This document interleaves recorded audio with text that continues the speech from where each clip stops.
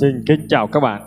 Ở các video trước, thì đã chia sẻ các bạn các cái à, tông giọng có từ không dấu à, thăng đến 7 dấu thăng.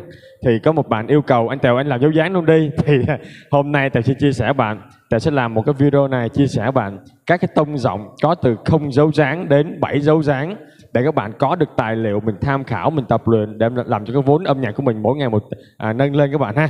Rồi. các bạn có âm nhạc nhé. Như các bạn đã biết cái uh, giọng mà không có dấu hóa nào chắc chắn khi đi học nhạc ai cũng được biết cái giọng này. Đó là giọng la thứ đó các bạn. Đầu tiên đi học à, chắc chắn mình đi học nhạc ai cũng sẽ học học giọng này. Giọng này giọng không có dấu hóa nào. Giọng la thứ. Rồi tại sao cái giọng này nó lại không có dấu hóa nào? Rồi tại sao mấy giọng kia tới 7 dấu hóa hay năm dấu hóa 6 dấu hóa? Thì đây chúng ta đang học theo cái à, theo cái luật bình quân âm của ông Johann Sebastian Bach người Đức các bạn ha. Ông này sống ở thời tiền cổ điển rồi các bạn có thể tìm hiểu trên internet bấm vào Johann Sebastian Bach người Đức các bạn ha. Thì chúng ta đang chơi cái hàng phím như vậy nè. Đô tới đô nữa là đô đô thăng nửa cung nè. À, rê dán lên rê nửa cung ví dụ như vậy. Đó cái hàng phím ta đang đánh như bây giờ nè là à, theo cái luật bình quân âm của ông ông này các bạn nha. Nếu không có ông này giờ không biết chúng ta chơi nhạc sao nữa các bạn. Cũng vất vả đó các bạn ha. Rồi à, hết sức ban ơn ông à, Johan trên bác nãy bạn ha. Rồi cái cái cái à, tông giọng mà chúng ta học hôm nay dấu hóa hôm nay là cũng do ông này ông à, ông ông viết ra đó các bạn. Luật bình quân âm của ông ta đó. Rồi cái giọng đầu tiên giọng không có dấu dáng nào. Đó là giọng la thứ. Ok bạn giọng này quen thuộc ha. Rồi song song với giọng la thứ này cũng có một cái giọng trưởng mà nó không có dấu hóa nào. Đó là giọng đô trưởng. Hình như giọng này cũng quen thuộc luôn các bạn ha.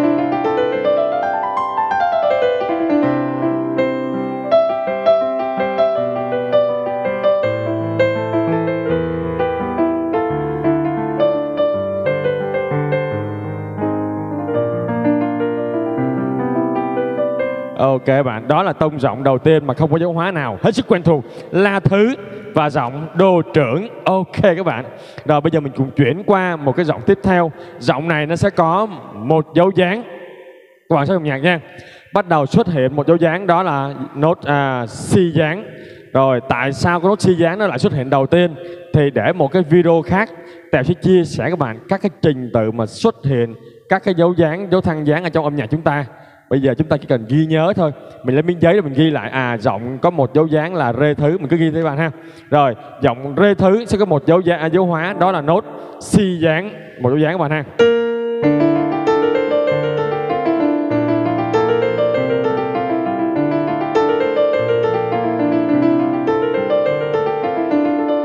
Ok bạn, giọng rê thứ sẽ có một dấu hóa đó là nốt si dáng Rồi, song song với giọng rê thứ này có một giọng trưởng cũng có một dấu dáng nữa, si dáng luôn.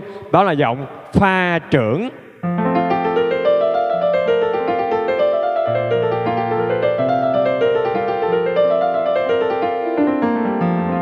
Ok bạn, rồi lấy miếng giấy để ghi lại các bạn ơi. Giọng có một dấu dáng hai chấm Rê thứ Phẩy Pha trưởng tức là hai dòng này nó song song nhau, tại vì nó có cùng dấu hóa các bạn ha. Rồi, đó là giọng có một dấu dáng, rê thứ và pha trưởng. Chúng ta qua giọng tiếp theo. Giọng tiếp theo có, sẽ có hai dấu dáng. Đó là nốt si dáng và mi dáng. Chúng ta sẽ có giọng son thứ.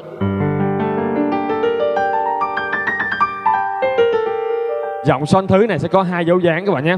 Đó là nốt si dáng và mi dáng. Mình chạy gam sơ một cái.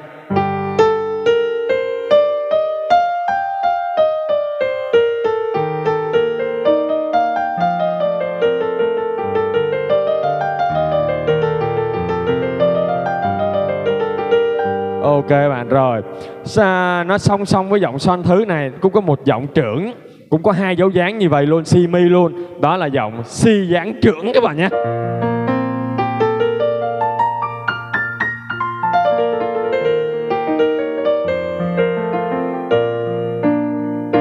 Ok, nếu như bạn nào đánh được giọng son thứ chắc chắn các bạn sẽ đánh được giọng si dáng trưởng này tại vì nó cũng, thang âm cũng gần gần giống nhau bạn, nó song song nhau mà. Nó cũng cùng với dấu hóa là si dáng và mi dáng.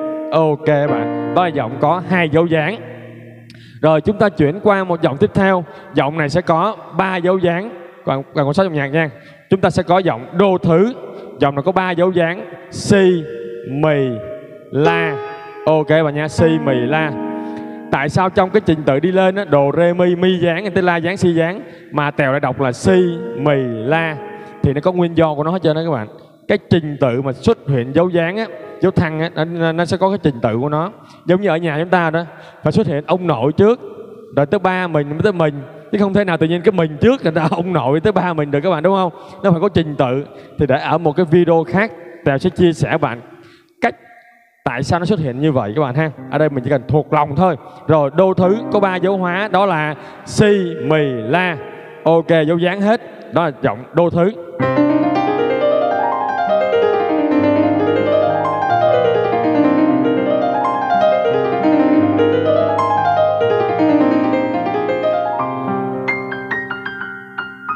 Rồi ok, nhớ bạn nha.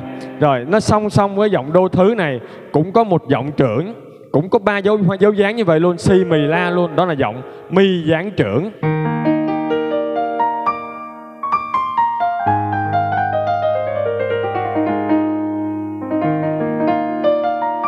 Ok bạn, giọng mi dáng trưởng này cũng có ba dấu hóa luôn là si mì la dáng hết các bạn nhé. Nó song song với giọng đô thứ.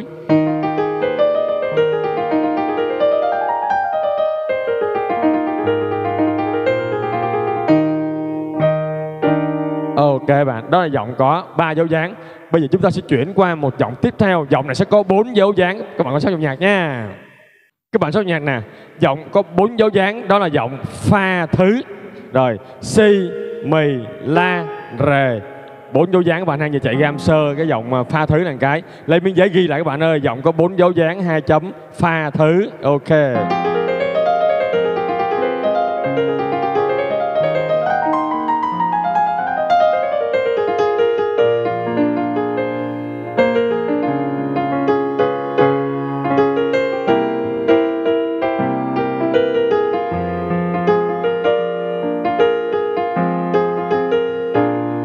Ok bạn ơi, rồi dây dây ra Giọng pha thứ có bốn dấu dáng.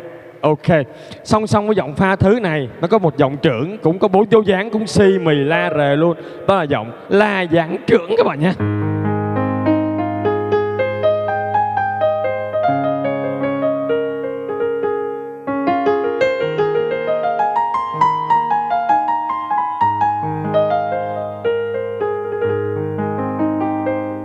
Ok bạn, đó giọng bốn dấu dáng lấy nếu bạn không nhớ kịp lấy lấy miếng giấy ghi lại các bạn nha rồi à, tiếp theo chúng ta cùng chuyển qua một giọng tiếp theo. Giọng này sẽ có năm dấu dáng. Bắt đầu nó phức tạp lên này các bạn. Năm dấu dáng chúng ta sẽ có giọng si dáng thứ.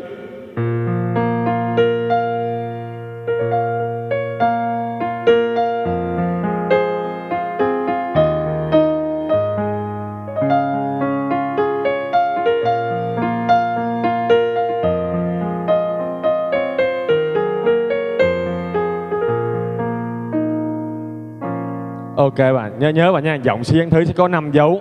À, Dấu dáng đó là si, mì, la, rề, son.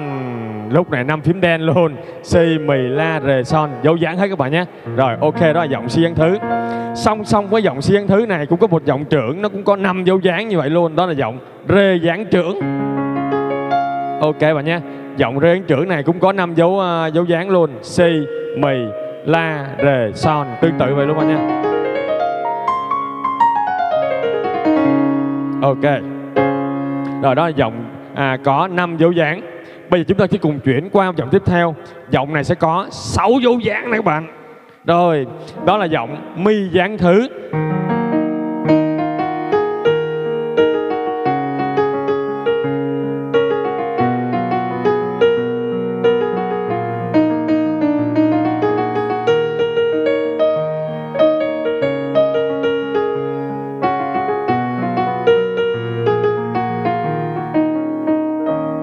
Ok bạn nha sẽ có năm có sẽ có sáu dấu dáng là si, mì, la, rề, son và thêm nốt đô nữa các bạn.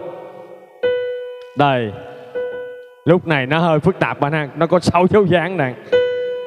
Chúng ta bấm chỗ này cái nhiều bạn sẽ thắc mắc tại sao mình bấm nốt si mà mình gọi là nốt đô dáng. Nhưng mà các bạn ơi, trong cái trường hợp giọng mi dáng thứ thì cái chỗ này chúng ta sẽ gọi nó là gì? Đô giá các bạn đô dáng các bạn nhé. Chứ không thể nào mình gọi nó là nó si được các bạn nhớ nha. Thì trong trường hợp chúng ta gọi là trùng âm các bạn. Trùng âm là gì? Các bạn sẽ tìm hiểu nhé. Cứ bấm vào trùng âm cu tèo piano sẽ ra cái clip mình tìm hiểu thêm. Còn đây chúng ta thuộc, thuộc lòng luôn. Ở đây thuộc lòng mình sẽ gọi nó là nốt gì? Đô dáng rồi đó giọng miếng thứ. Song song với giọng miếng thứ có sáu dấu dáng này có một giọng trưởng cũng có sáu dấu dáng luôn. Đó là giọng son dáng trưởng.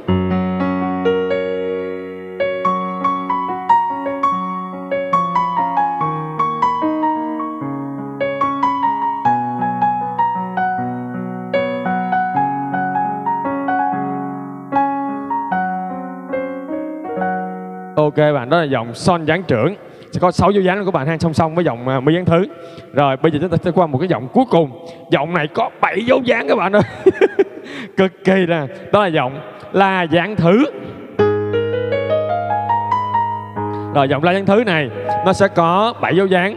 Si mì la rề son đồ và pha luôn. Rồi có tất cả là 7 dấu dáng các bạn ha. Mình chạy cam sơ cái.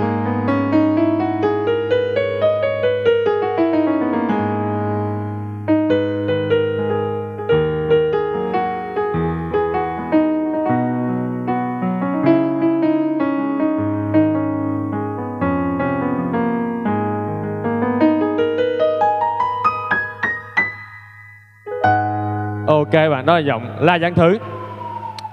Song song với giọng la gián thứ này, có một giọng trưởng cũng có 7 dấu dáng luôn. Đó là giọng đô giảng trưởng các bạn nhé. Cũng tương tự như vậy, bạn cũng si, mì, la, rề, son, đồ và pha.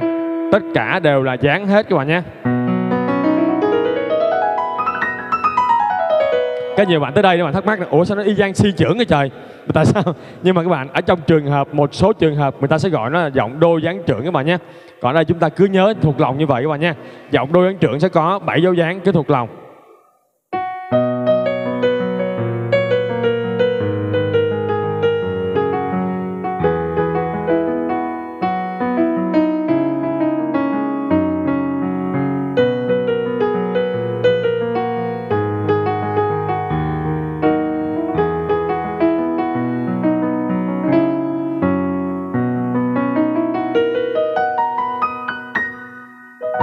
Ok bạn đó là giọng đô ấn trưởng.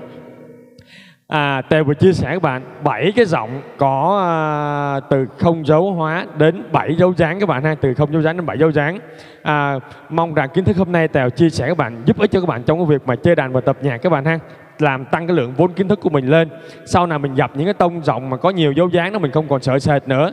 Tại vì mình đã biết nó có bao nhiêu dấu dáng rồi nó là tông gì rồi và mình đánh được thoải mái bạn ha mình không còn phải sợ sệt nữa. Rồi À, nếu các bạn cần cái file PDF của cái bảy tông rộng dấu dáng này á, các bạn cứ gửi, để là bình luận phía dưới video nhé. Tèo sẽ gửi chia sẻ các bạn để các bạn có tài liệu mình in ra mình tập luyện cho nó dễ dàng hơn. Nếu các bạn thấy kiến thức của Tèo chia sẻ hôm nay bổ ích, các bạn nhấn cho Tèo một like với nha. Để bấm nút đăng ký kênh của Tèo Piano luôn các bạn ơi. Còn bây giờ xin kính chào và hẹn gặp lại các bạn ở video sau nha.